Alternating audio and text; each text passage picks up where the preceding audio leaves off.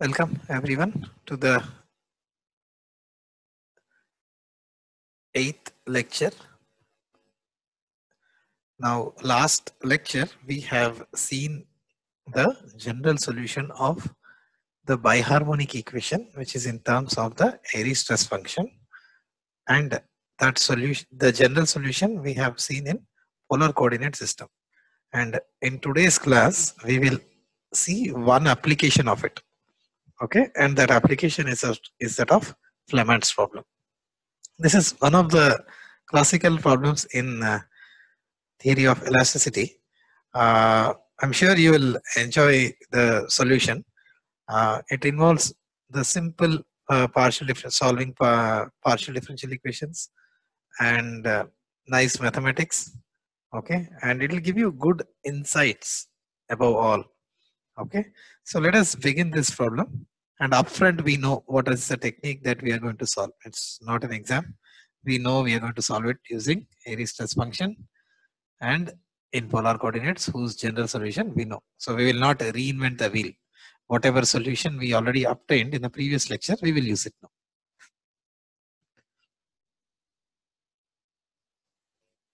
So what is the Flamant's problem it is basically a line load on a semi-infinite body. What is a semi-infinite object? Take a large infinite object or an object which is infinite and you cut it using a planar section. Okay, you have you just slice that infinite object. What you get is a semi-infinite object. One primary example of semi-infinite is the floor the floor or the ground on which we are standing. Okay? And if the, you have let's say your uh, table is very thick the top layer of your table is very thick. Very thick that so much so that if you tap on the top of the table you probably don't feel anything uh, say one meter or two meters in its thickness. So what is this concept of infinite? Infinite in the sense it is long enough such that no effects of the force or the moments are felt. The position vector as it tends to infinity, all relevant fields which is temperature, stress, strain, displacement, everything should die down to zero. That is the meaning of infinite. Okay, it is sufficiently large. So let's come back to this problem. We have a line load on a semi-infinite body. So on the floor, we have a thick, fat, say rope okay with some huge mass it is sitting. It's a long straight uh, rope with a heavy mass and it is sit it is resting on the floor. And due to its weight it is exerting a force and that force per unit length is what is designated as p here. Okay so this p here is load per unit length Okay. What is the unit of load? It is Newton. So the unit of P is Newton per meter. Clear? So this is what this is the problem which we are going to analyze. And what kind of problem is it? Is it plane strain problem or plane stress problem? The rope is long. Okay. And I have drawn the cross section. So at any cross section, this is what I have. There is a load, there is a traction due to the weight of the rope say and it is the same everywhere in any cross section. Okay so this is basically a plane strain problem. Uh, so you can reason it out on in few more ways. Different books some books incorrectly write it as plane stress problem whereas it is actually not a plane stress problem. It is a plane strain problem. Okay what is the goal? As always the goal of a boundary value problem is to identify the full field components of stress, strain and displacement. What is full field? Full field is say you pick up stress. Stress you want it as a function of R and R belongs to the domain. Okay. At every point in the domain you want to identify the stresses, strains and displacement. That is what we mean by full field components. So let's proceed. It's a slightly longer problem but uh, it is easy. The concepts are nice. The mathematics is also easy so you will gain a lot of insights in solving this problem. So this is what I have. This is the problem. And uh, we said, what are the tenets that we will follow? The tenets or the rules or the manners or the etiquette which we will follow. First is coordinate axis. And the next is free body diagram. Here it is semi-infinite. So there is nothing else to draw apart from what I have already shown, right? And then we write the domain equations and the boundary conditions, right? So the line load is continuous along z direction and since the deformation in every plane is parallel is the same i mean the deformation in every plane parallel to the xy plane as in if i slice the semi-infinite object in this in the screen of your computer the deformation would be the same because the line load the traction conditions everything are the same and hence it reduces the 2d problem and specifically it is a case of plane strain problem. Okay, in an exam when I give you a problem or in general in life when somebody gives you a problem, we need to first methodically approach it. Okay, 3D problem is reduced to a 2D problem. Okay, and this is what it is. So it's a plane strain problem. Okay, so we will use the domain equations and the boundary conditions and you can solve it either way. Just that in the previous lecture we have uh, set up the stress form in the previous to previous lecture we have set up the stress formulation. And in the last lecture we have solved the stress formulation used in polar coordinates. So let us try and apply what we have derived. That is what we are trying to do in this class. Right? So which is valid for both uh, Airy stress function is valid for both plane stress and plane strain problems and since body force is absent whatever we derived in last class del power 4. This is your governing equation for plane strain, right? In the absence of body force. So, and for this, we know what the general solution looks like, right? In the from the previous lecture, it's long, but we know how it looks like. So, first thing or the next thing is domain equations. You know this is your governing equation. And of course you are now trying to solve it in polar coordinates not in Cartesian coordinates right? And in polar coordinates this is how the expansion is which you know from the previous lecture as well. And you know the Michell solution also. So until this point you know everything what I have spoken. You know the domain equations you know why it is plane strain you know the general solutions so all these things you know so now let us try and apply things. Okay. How do we identify these unknowns? The domain equation is already solved, right? We no longer need to additionally solve the domain equation. The domain equation was solved by us in the previous class. All we need to do now is identify all these unknowns. AI, you know, AIJ, BIJ, you know, AK or BK, whatever you want to call. All these coefficients are what we need to identify with respect to the boundary conditions. And once you do that, you know your stress function. Once you know your stress function, you know your stress tensor. Once you know your stress tensor, you know your the strain tensor. Once you know your strain tensor, you know your displacement, which means you know everything with respect to the solution of the problem. Right? So let's proceed. so I consider a small sector around the point where the load is applied. Okay, so 0 comma 0 comma 0 is where I'm applying the load. I'm going to consider a small sector of constant radius. I'm showing multiple arrows. Those are simply representing the radius. Say the radius is A. Okay, it's a hemispherical sector. Remember, it is a three-dimensional object and we are solving it to a two-dimensional. So geometrically speaking, it is not circular, it is hemispherical. But for our analysis, it became a planar problem. Okay. And this is the planar problem. Right. So I've taken a small region with some radius around it. And now I am using polar coordinates because I have my general solution is in the form of uh, is for polar coordinate system. Okay. So this is the point where the load is applied. And you know this is the unit vector along the radius and this is the unit vector along the theta direction and this is my reference line theta is equals to 0 and as I go 180 degrees this becomes theta is equals to pi right So let's proceed further. So this is the geometry that you're analyzing. I've shown you the corresponding 3D geometry. That's why I wrote this hemispherical term. But since you're solving a planar problem, we are sticking to polar coordinates. Okay. Otherwise, you may have to resort to some cylindrical coordinates.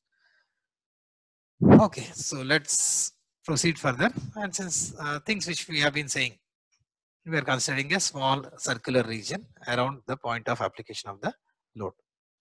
What is the first boundary condition? How many boundaries do we have before we jump? I am seeing this is the boundary on the top surface. However, vectorially, if I see, I have one region here, one region here, and the second boundary here. So the first boundary, second boundary, or if you want, you can combine this.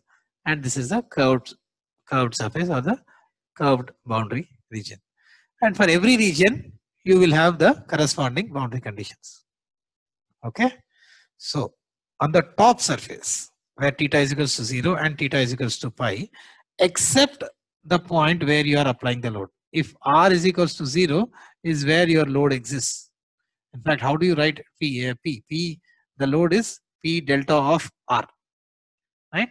And this becomes, this is equals to P only when R is equals to 0. So I'm having a boundary condition on the top surface except at the point of application of load.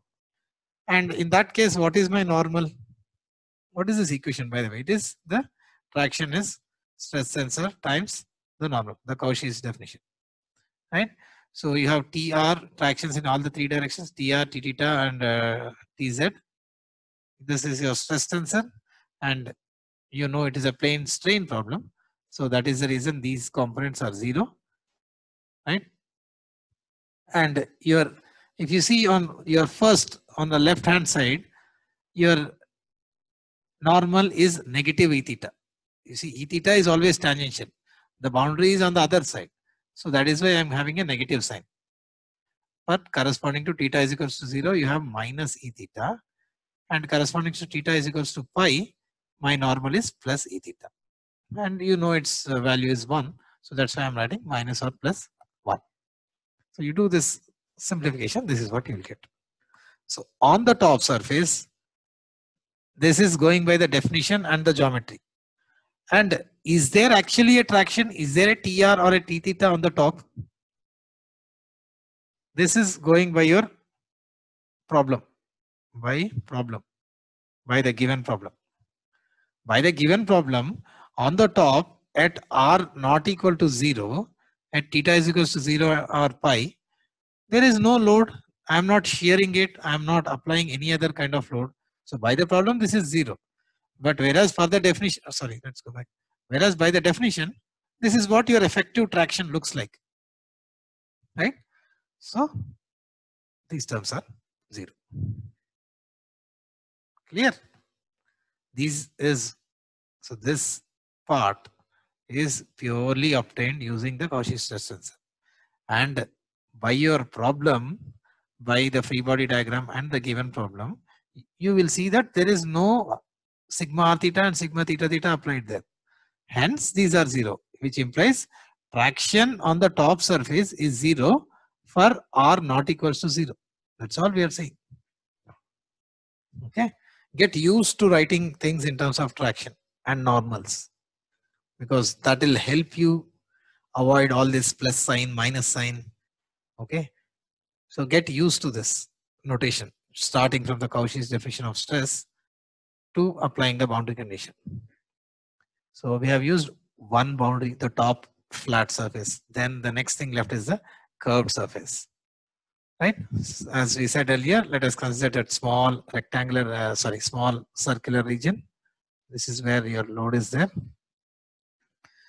And on the top surface at R is equal to zero, basically at the point of application of load. At the point of application of load, this is what you have. I have a normal vector ER, which is 1, and this is how your stresses exist. and I do this simple matrix multiplication. So my effective sigma RR is, my effective traction is sigma RR, sigma R theta and 0. Right? And what is the third boundary condition? Which this will be on the curved surface. If you want, you can simplify things further. Is there a sigma r theta at r is equals to 0? At r is equals to 0, is there a sigma r theta? Sigma r theta is actually 0. There is no shear there. Whereas sigma rr is p minus p rather. Okay. Now the final boundary. As such, geometrically speaking, we have one flat boundary and then we have a curved boundary. But in that flat boundary, we chose to apply the boundaries in such a way where there is no load and when where there is load. Right? That is why we got an additional boundary condition number two. And now we will analyze the uh, curved boundary. For this curved boundary, what happens? Okay. If I take any sector and I integrate it, all I am doing is I have this object, you know, somehow it is in a semicircular shape. On the top, there is this load and there is a sigma rr and a sigma r theta everywhere, everywhere. And I'm integrating it from 0 to pi. That's all we are doing. So I considered, I first took a sector. On that sector, there is a sigma r theta and a sigma rr. I have taken the corresponding components, sine theta and cosine theta, right? And so on this sector, these are the forces. So for every such sector, okay, I am multiplying with a d theta, which is the length. That is the net force along the vertical direction. And similarly, if I balance the forces in the horizontal direction, this is what I would get. Clear? As such speaking, we have only two boundaries, one flat and one curved. For the flat, we said we'll consider every point except the point of application of load and that's how we wrote the boundary condition number one. Boundary condition number two is where is only on the top surface at the point of application of load. The third boundary condition is on the curved, curved region, right? And if I isolate the curved region from my planar geometry, on every part, on ev at every point on this curved region, you have your stress tensor as a function of r and theta. And that is what I am doing. I am balancing the forces all along this boundary with respect to the externally applied load. Externally, there is only this vertical force. That is why you have a P.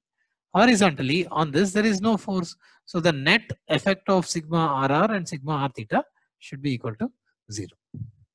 I'm sure now by now you are in a position to uh, help yourself as to why this is sine, why this is cosine, why there is a minus sign. It is all I'm doing is look at the free body diagram and write the corresponding force balance.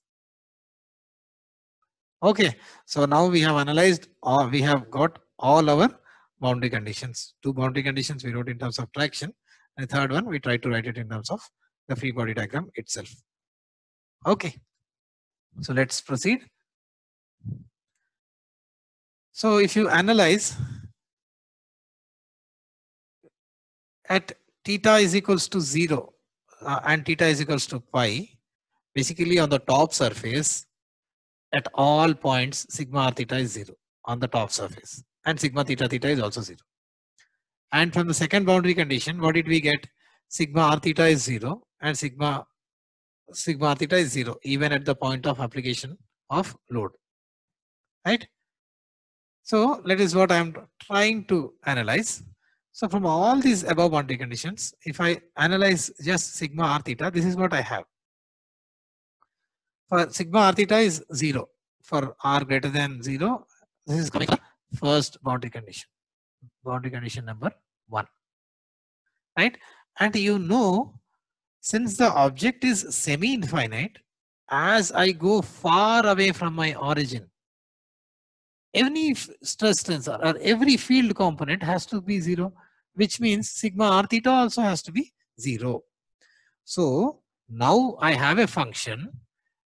This is my domain, right? On the top surface it is 0 and as I go far away from it, this is my origin 0 comma 0. This is my origin. As I go far away from it in any direction, this, this has to go to zero because it, we are dealing with a semi-infinite object. It is zero with respect to our problem. Because it is infinite or semi-infinite, as it goes far away from the, or you, uh, as you move far away from the origin, every field component should vanish. So sigma theta. So this tells us we can consider sigma r theta to be zero in the entire domain. Why? Why should I consider? You see, I am applying load only on the top. There are no intermediate loads. Okay, whatever is happening, whatever stresses or strains which are generated are due are generated only because of the application which application of load, which is the line load here. And that application of load is only on the surface. There are no intermediate loads. So at the point where you are applying anything itself is zero and you are saying that far away as you go far away it should be zero. Hence it is reasonable to consider that sigma r theta is zero in the entire domain. Okay, I would say please rewind your uh, video once again a little uh, backwards and try and revisit the same sentences just to ensure that you understand the logic that we are using. If there are any other internally opposing forces, yes, then this statement remains invalid. But there is no other internal force, so this statements hold true. Okay, so we were analyzing a two-dimensional problem, plane strain. Plane strain has how many components? Three in plane and one out of plane. Out of the four components, sigma rr, theta theta, r theta, and zz.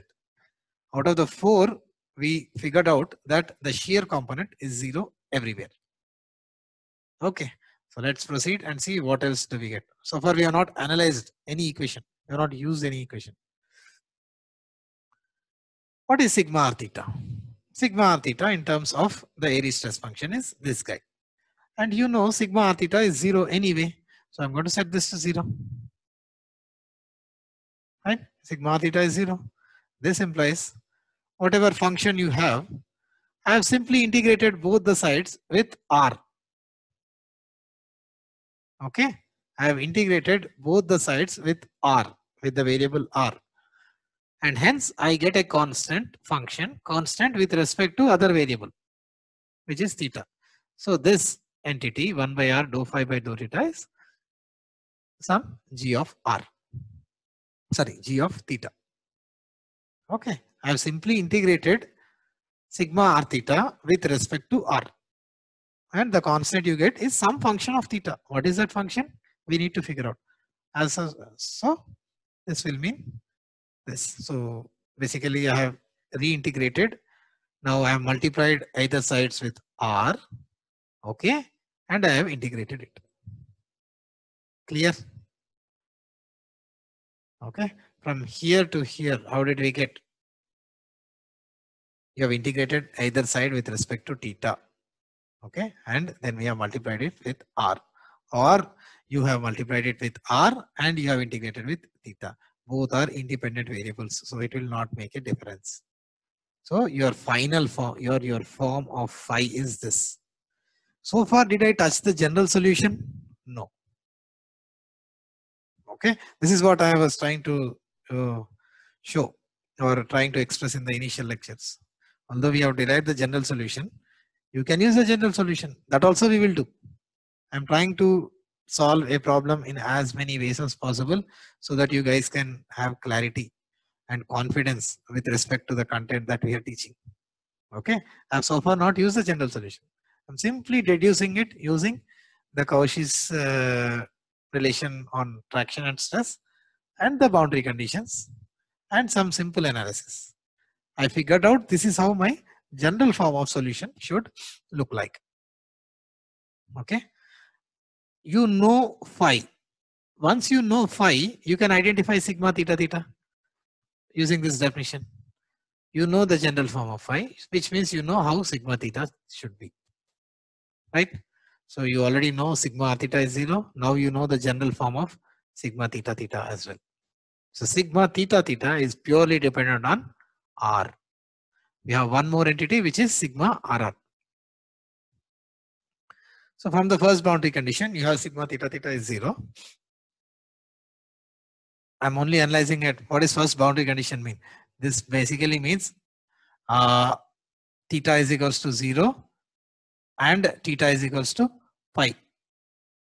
First boundary condition means. Right? And at theta is equals to 0 or theta is equals to pi, sigma theta theta is 0 from the first boundary condition. What is the general form of sigma theta theta from the previous slide?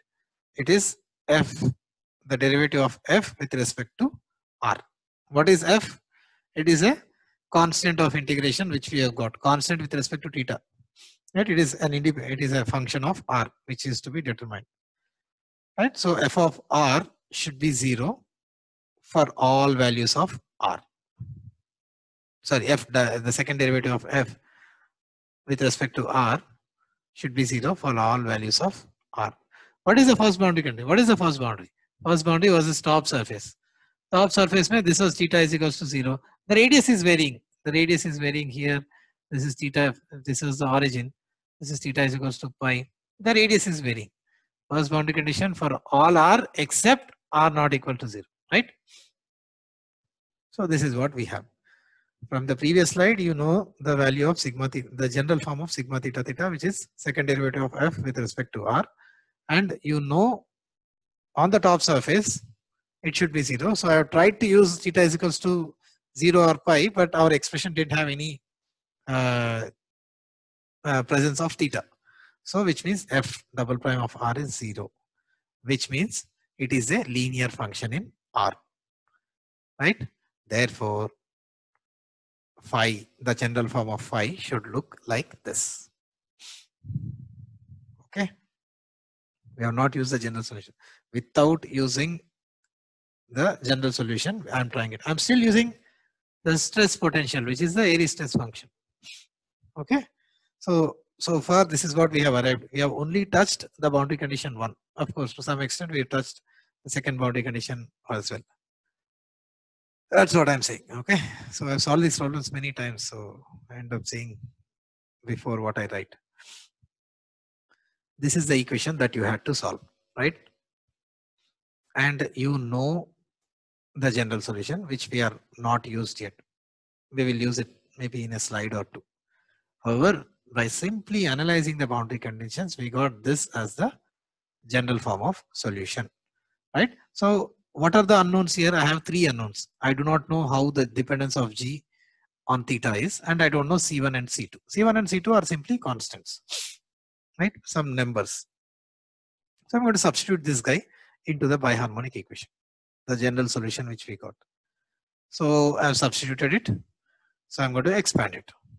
Right? Is this part clear? Okay, I have substituted. This was my original solution.